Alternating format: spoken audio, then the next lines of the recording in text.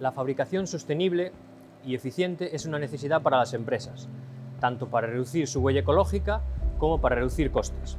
Desde Tecnalia estamos trabajando en nuevos procesos alternativos de calentamiento para hacer procesos más eficientes para la industria. Un ejemplo claro de esto es el proceso Sinterfast. Sinterfast se basa en la sinterización eléctrica, que básicamente consiste en introducir polvos en un molde, aplicar una corriente eléctrica y presión para obtener una pieza final, totalmente densificada. La gran ventaja de esto frente al proceso convencional es que en Sinterfast este proceso, al solo calentar el material, dura pocos segundos, mientras que en un proceso convencional el material se mete en un horno y tarda horas.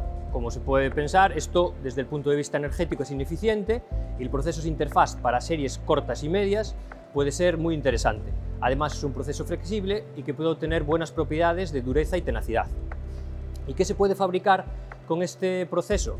Pues piezas pequeñas de metal y metal, y metal cerámica, como pueden ser materiales magnéticos, herramientas de corte, herramientas de minería, termoeléctricos o cualquier pequeño componente base titanio, cobalto, hierro o níquel.